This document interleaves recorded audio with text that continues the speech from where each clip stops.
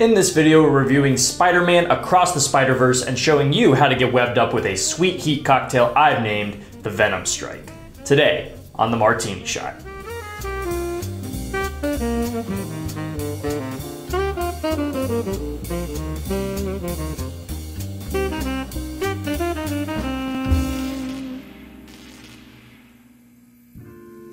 And welcome to the Martini Shot, home of movie reviews and movie-themed cocktails. My name is Brandon.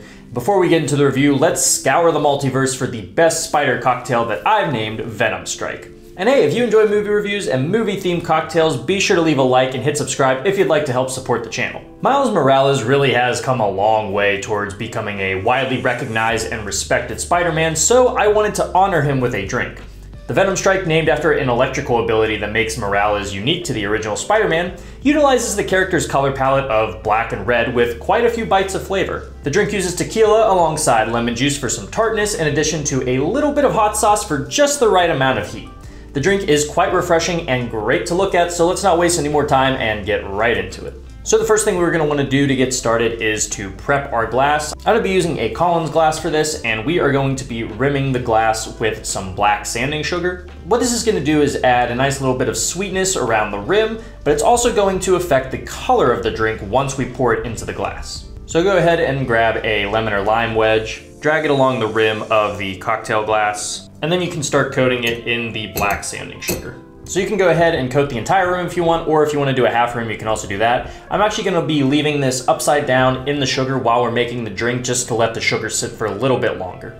Now that your glass is prepped, we can go ahead and start on the cocktail itself. So first we're gonna start off with a little bit of grenadine. This is gonna add some sweetness to the drink and push it more into that bright red direction that we're going for with the color. And you're gonna be doing 3 fourths ounces. Next, let's bring in some of that heat with some hot sauce. I think Tabasco is usually a pretty good pick for any time you're adding hot sauce to a cocktail. And you can adjust this based on how hot you want it to be. I'm gonna go with three dashes. I think that gets you a good amount of heat without it being really overpowering. And now we're gonna be applying some juices, first starting with some lemon juice, and you're gonna be doing 3 fourths ounces.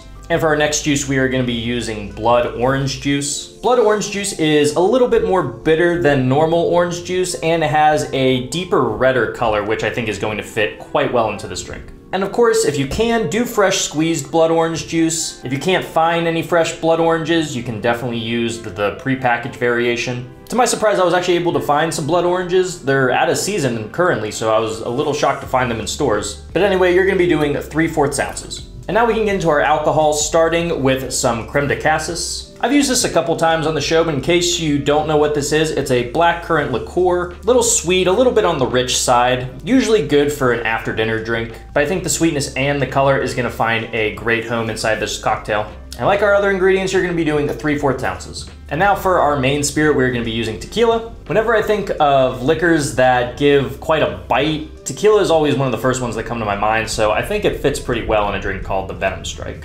And I'm gonna be using this nice Reposado tequila I got from Mexico. And you're gonna be doing two ounces. All right, let's get ice in our shaker and shake to chill.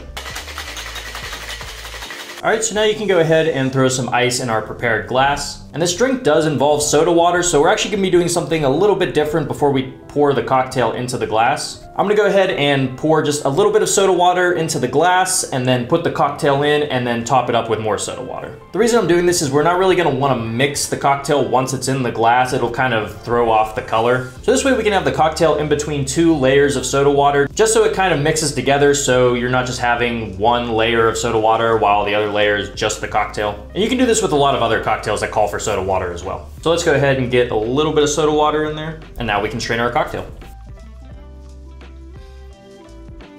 And now finally we can top it up with some more soda water and if you look closely, you'll see as the soda water starts to touch the black sugar along the rim, it'll start to drip adding a cool little visual effect as well as changing the color of the top of the cocktail.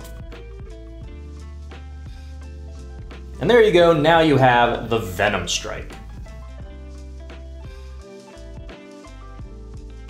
The heat, the sweetness, even a little bit of bitterness, it all works really, really well together in this cocktail. The tequila definitely packs a punch, and I think the hot sauce is a great pairing whenever you're doing anything with tequila. And the blood orange juice adds a little bit of bitterness, but it's also very refreshing, amplified by that soda water. The grenadine and the lemon juice also add a little bit of sweetness. And while the creme de cassis is a little bit understated, I can definitely point it out in there. There's a little bit of a rich sweetness that kind of lingers on your tongue after each sip. I think these flavor combinations definitely make it a little bit unique, but it's very approachable at the same time, especially if you like a drink with a little bit of a kick. Even with that heat, I feel like this is a great summer drink. Tequila just makes great summer drinks in general. And I will say with the black sanding sugar, it does get a little bit messy, especially if it starts to drip to the outside. So I would definitely lay a coaster down, maybe have some paper towels on hand. But hey, I really like the color contrast going on here, so I think it's worth it. Now that we have our drink, let's dive straight into the review of Spider-Man Across the Spider-Verse. Let me be upfront.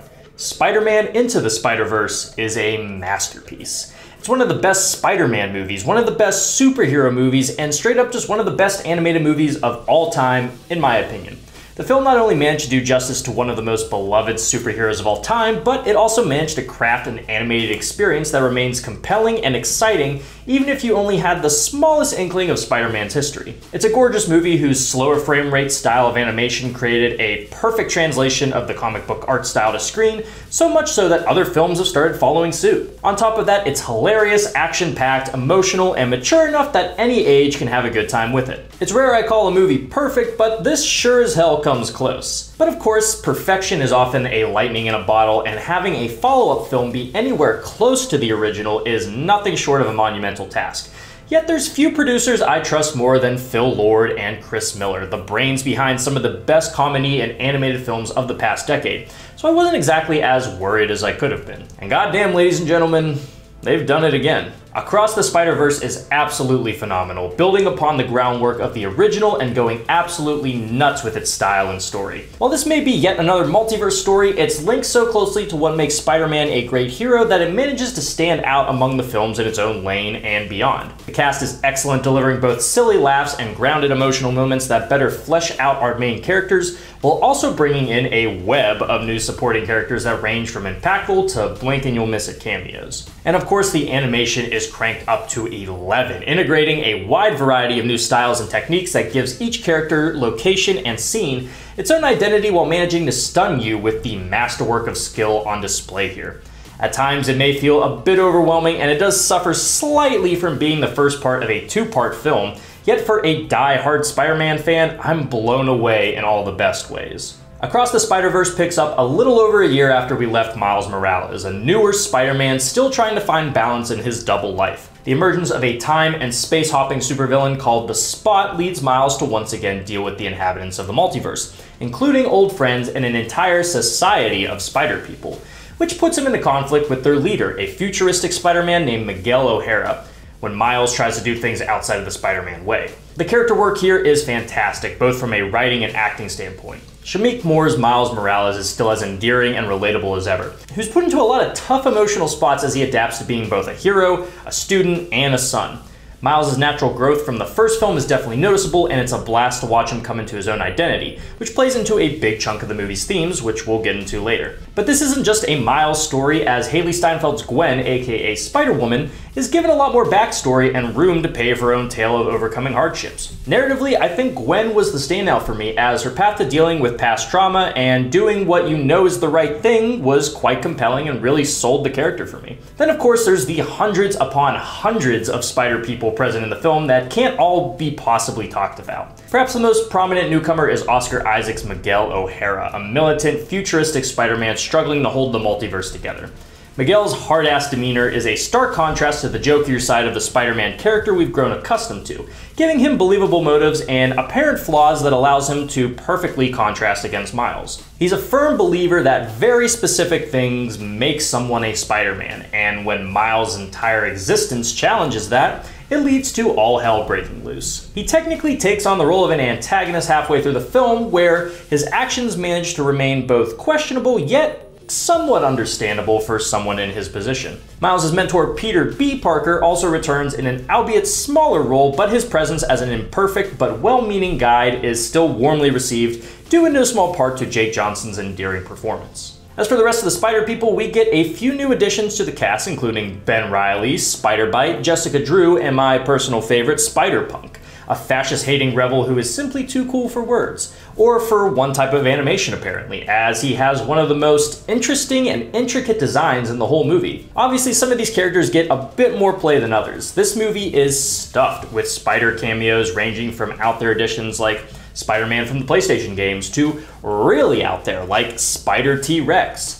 There's even some rather surprising cameos from beyond the world of animation that I won't spoil, but I was genuinely shocked and surprised to see. The last character I want to touch on for now is the Spot, a goofy, bumbling villain that quickly turns into a sinister universe level threat. I do wish we could have gotten a little bit more of him here, but I like where the film takes him, and I can't wait to see how the story continues. Perhaps the most impressive aspect of this film is the wide range of animation styles on display across the two hour runtime, making each new location and character we come across feel unique and part of a different realized world. We of course get the familiar Spider-Verse style in Miles' universe, which continues to embrace the comic book and motion aesthetic introduced in the first film, complete with little visual subtleties that make even the most minor motions stylish and impactful. Then there's Gwen's dimension, where the environments are displayed as beautiful watercolor backdrops that melt, bleed, and change color based on the emotions of the scene. Miguel's city of 2099's Nueva York contains the angular, futuristic designs you'd expect, while Spider-Man India's Mumbattan is reflective of 70s era Indian comics, giving the city an almost paper appearance. Even when we aren't in a new world, some characters are given the unique art style treatment to their design, and nowhere is that more apparent than with Spider-Punk.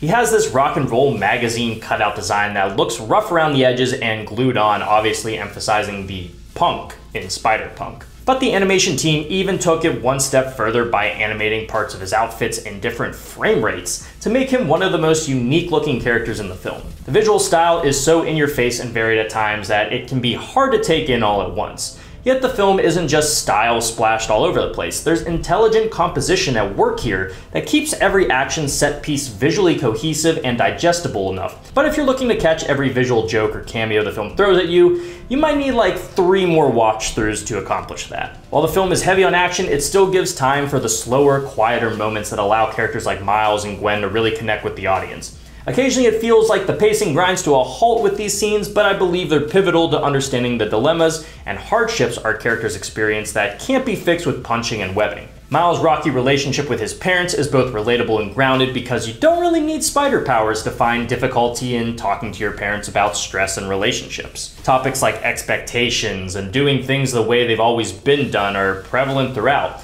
even tying into Spider Man mythology specifically. If you're familiar with the lore of Spider Man and many of his alternate versions, you'll know the path to great power and responsibility is often paved with tragedy and heartbreak. The film spins this into a form of commentary towards the sometimes repetitive nature of comics that ties into what makes Miles stand out, embracing the idea that a hero can come from anywhere and isn't always cut from the same cloth as their predecessors. Admittedly, the way the film approaches this idea can feel a bit silly and convoluted, but the underlying message does manage to come through despite it.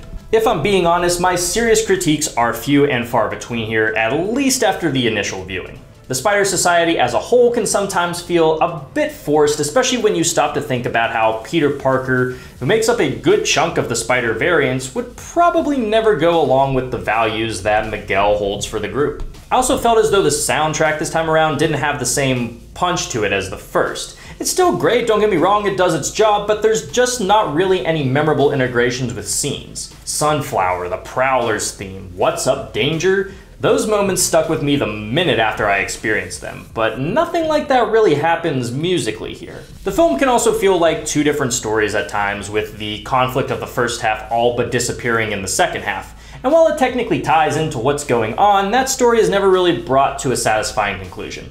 But like I said, this is but part one of a part two overarching story, so some of the narrative is bound to feel incomplete at times. Yet the cliffhanger the film ends on is undeniably intriguing, and to the film's credit, it does give the character of Gwen a complete arc and an exciting direction to head next. If you thought the first Spider-Verse was for the fans, then you ain't seen nothing yet. The film's many references and visual gags runs the risk of alienating the most common viewer, but these never take away from the fact that the film is still a hell of a good time, brimming with inventive visuals, genuine humor, and a whole lot of heart.